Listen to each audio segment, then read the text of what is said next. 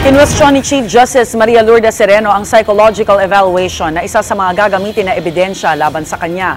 Sa kanyang panayam kay Jessica Soho sa programang State of the Nation sa GMA News TV, sinabi ni Sereno na tila may mali siya ang evaluation dahil hindi naman siya nakasalamuhan ng tumestigo ukol dito.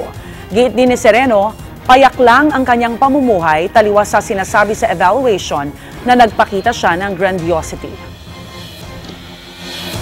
Hindi kaya may halong mali siya na yan? Paano mo i-gagawing compatible yung sinasabi ng taong hindi man lang ako nakakausap, nagbabasa lang ng dyaryo, chismis pa sa dyaryo ang binabasa, tapos itong mga bintang niya sa akin, eh, baligtad sa facts. Parang, ah, parang masamang masama talaga yung nangyaring testimonyang yan.